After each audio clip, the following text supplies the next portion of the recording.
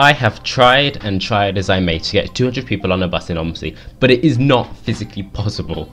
So I've been thinking of other ways to visualize 200 people. Um, I did manage to get 200 people to load in OMSI, but before we get to that, I want you to imagine one person, just one, easy. Let's up the ante. Let's go for five people. That's your average family, right? Five people, still easy, correct? Good. Let's go for 50 people. Can you imagine 50 people? No? This is much, much harder and the chances are you can't do it. What if I told you to imagine 10 families? That's 50 people, but it's 10 families. It's slightly better, but it's still very hard to do. Let's go for 100 people. I want you to imagine 100 people, which is 20 families. Not possible? No? Okay, already that's too much for your brain to comprehend.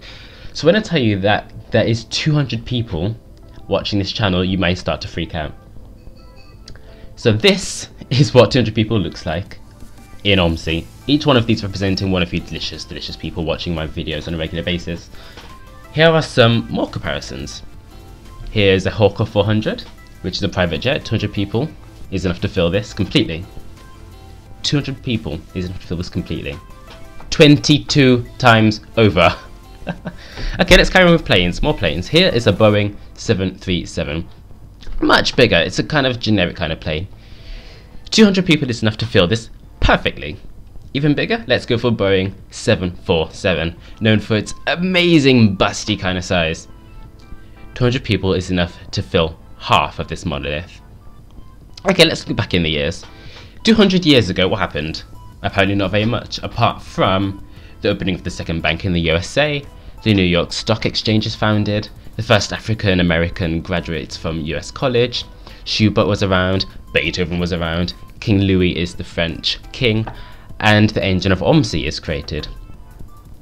Okay, let's look 200 years into the future. That's quite a long way. Let's let's be realistic here. We're only in, you know, 2017. But let's look 200 years in the future.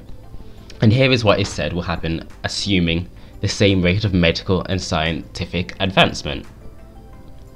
People will be able to put their consciousness into another being. As the benefit of life redemption, people will become these freakish kind of cyborg things. Apparently, this is this is all probably nonsense I'm getting off the internet, but this is what this is what people are estimating. The planet that we live on, Earth, will nearly be dead. 200 years in the future, assuming well, not be dead, but be, the ozone layer will be bye bye bye. That'll that'll be almost be dead. Um, and we will have visited another planet. NASA would have gone to another planet, hopefully, and see what it's like. Um, and it will be inhabitable, as far as we know. So, yeah. That's 200 years in the future.